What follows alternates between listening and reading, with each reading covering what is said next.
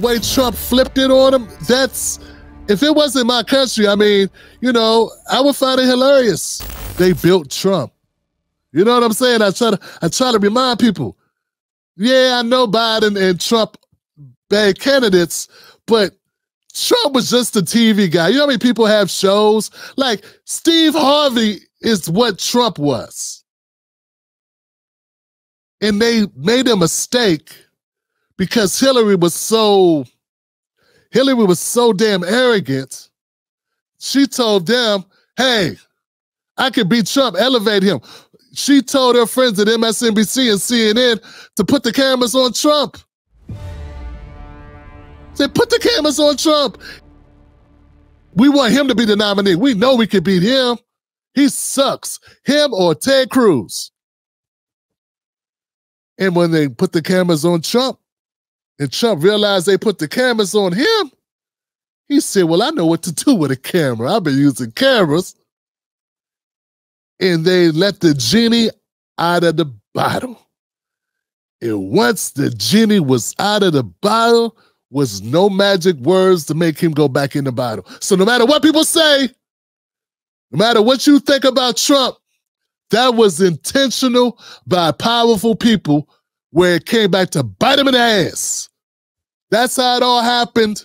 That's what gets, but you say, how do we get these two candidates? Because of the greed and the corruption of the Democratic Party and the DNC is how you get this. It's not because of Trump. It's because of cover Trump. It got so bad, Trump would announce a speech he was going to do a rally. And I don't know, his competitors in the, in the Republican Party would be actually doing a rally. They would turn from the actual speech that say Ted Cruz was doing or Krispy Kremes was doing, and instead put the camera on Trump's empty podium. And they didn't do it because they love Trump. That's not why they did it. People say that they they don't understand. They did it because that's what the viewers wanted to see. They did it because the numbers of people that would watch and tune in to wait for Trump to speak, if it was an hour or two hours or two and a half hours like Biden did yesterday, Biden took two and a half hours. He didn't do his speech till 8.30. He was supposed to do it at 6.30 the impromptu, off the cuff, extemporaneous, spontaneous speech where he had a list of names of people, the reporters to call on, not pick them out the blue shirt, red shirt, whoever. No, who's next?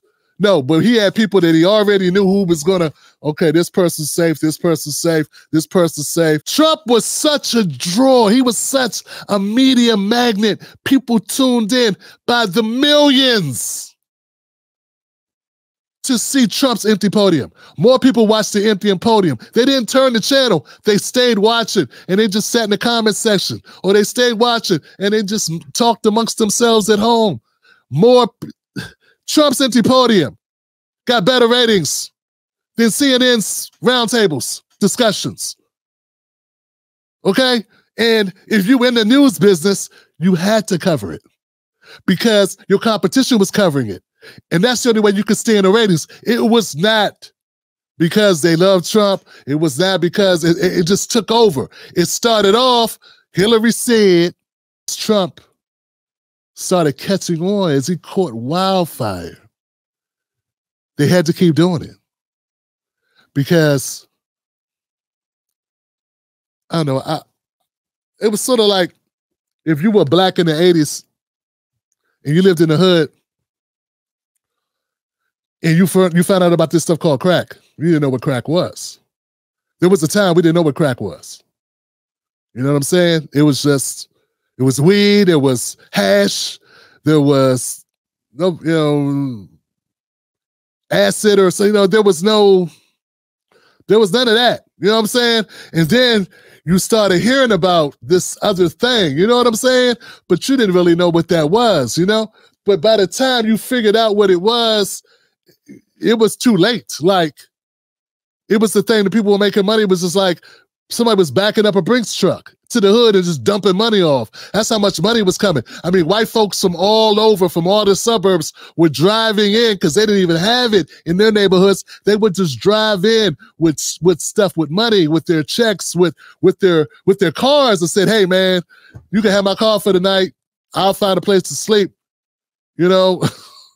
that's real talk. That's and you're like, what the hell is going so if you was on a corner and you was selling hashish or, or weed or whatever, you you would get moved off the block. You Like you you're watching other people make thousands while you you can you can beg somebody to take that from you. So that's what that's what Trump became. He became the crack of the media game, and he became crack to the news networks. It wasn't a choice. He changed media. I told this before, but I want people to understand. I know people who have become millionaires just because they covered Trump for the last seven years. Let that sink in, man. Regular people. That is nothing compared to what the networks made. There was, there was, was the guy, the NBC guy. I forget the guy's name. Or was the CBS? No, but CBS. The CBS guy, CEO of CBS, he's no longer the CEO, I don't think. I remember he said, you know, Trump may be bad for the country, but he's damn good for the news business. And they chose the news business over the country. That's really what happened. They chose the money. I think his name is Leslie something. Someone knows it in the comment section. That's what happened. Trump steamrolled media, and it'll never be the same. It is what it is. Trump steamrolled through the media. But just remember, Trump didn't do that on his own. He was created. He got a lot of help from Obama, for instance. Remember that correspondence dinner? Yeah. The correspondence dinner where Obama, the president of the United States, the leader of the free world, they say, put all his attention on Donald Trump. Now I know that He's taken some flack lately. But no one is happier, no one is prouder to put this birth certificate matter to rest than the Donald. And that's because he can finally get back to focusing on the issues that matter. Like, did we fake the moon landing? what really happened in Roswell? And where are Biggie and Tupac? Say what you will about uh, Mr. Trump. He certainly would bring some change to the White House.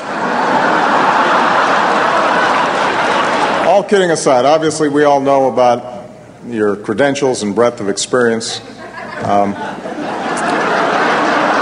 for example, uh, no, seriously, just recently in an episode of Celebrity Apprentice at the steakhouse, the men's cooking team uh, did not impress the judges from Omaha Steaks.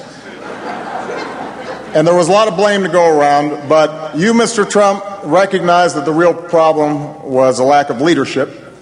And so ultimately, you didn't blame Lil Jon or Meatloaf. You fired Gary Busey. And these are the kind of decisions that would keep me up at night. Not only did he give Donald Trump the attention, he gave Donald Trump a reason. Oh, reason. Payback. Yeah. Revenge. Yeah.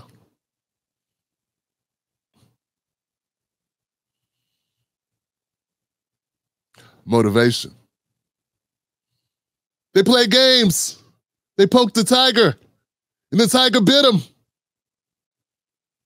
That's what Tigers do.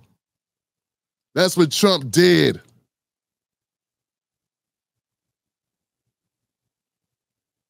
And now they want to pretend. Now they want us all to believe that it's all our fault. You disagree? You don't think they built Trump? They, of course they built Trump. Because if they didn't want Trump to get bigger, he never would have got bigger. If they didn't want Trump to get the media attention, he never would have got the media attention to begin with. And my proof is the 2024 Democratic primaries. What happened to Marianne Williamson? What happened to Dean Phillips? What happened to Cenk Uygur? What happened to RFK Jr.? Nothing happened to them because they said no cameras. no coverage. They did the opposite with Trump. They're responsible. So as upset as the the the as, as, as sad as Van Jones is, as pathetic as Bakari Sellers is caping for Biden, all of them that are crying, Whoopi don't care if if Biden controls his bowels and all this stuff, she's still gonna vote for him, whatever. At the end of the day, it's the Democrats who put Trump in.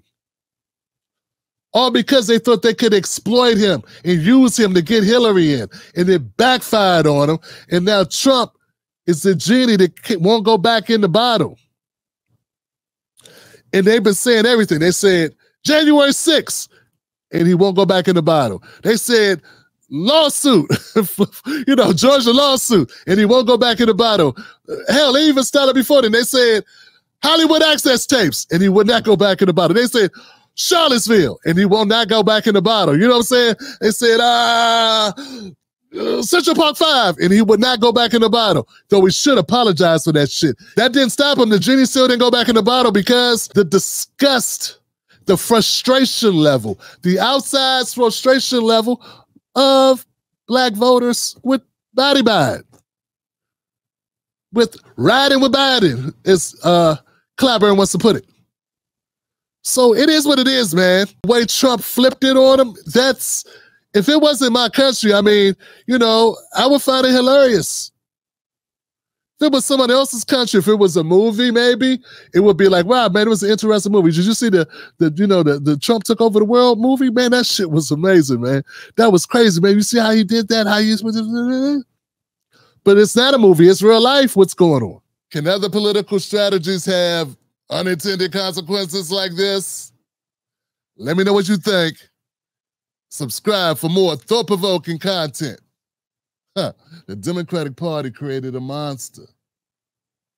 Boo!